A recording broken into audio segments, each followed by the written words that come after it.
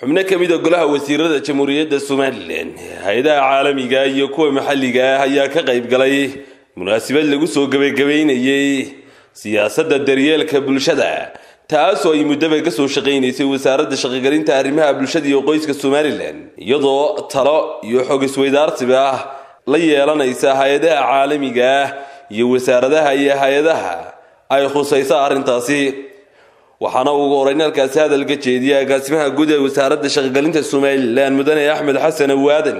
Waxaanu tilmaamay. Wasaaradda shaqadu labadii sane ee u dambeysay waxay ku howlanayd siyaasadda daryeelka bulshada siyaasaddan oo noqonaysa tii ugu horreysay ee dalka laga hirgeliyo ama laga sameeyo intii qurankeenu jiray. Siyaasaddan curinteedii waxaa ka qayb qaatay dhammaan daneeyaasha kala duwan bulshada qaybaheega kala duwan gobollada dalka oo dhan waxa kulamo loola soo fadhiistay cid kasta oo ay khusayso.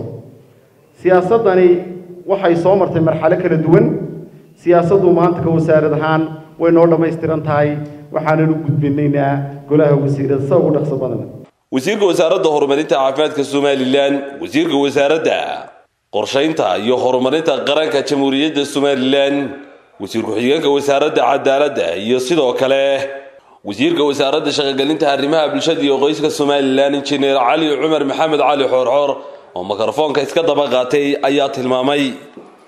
Hay'adaha lacagta bixinaya iyo kharashka dadka aynu wax ku tarayno inaanay noqonin oo keliya kharashyada laga soo qaadayo hay'adaha duunyada innaga dib iskuu noqonno oo wax ku darsigeennii iyo diiniyan sakadeennii haddii waxaan la maamulo oo la qurxiyo wax badan baa soo baxaya.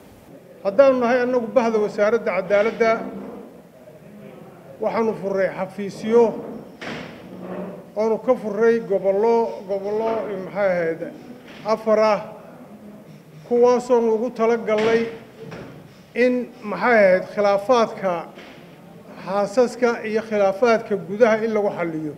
Waxaan anagu diyaar u nahay ka wasaarad ahaan. Shaqo weyn baa annaga naga dhexaysa wasaaraddan.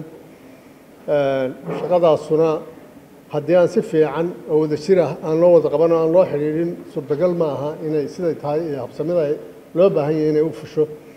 Annaga waxaa waajiba nuga ah inaanu mar walba wada shaqayn dhow la yeelanno wasaaradda maxaan ku rahdaa shaqogelinta iyo arrimaha qoyska sekadu waa cashuuraha tooska. Ah cashuur toos ah oo adduunka laga waa laga tirtiray beri hore.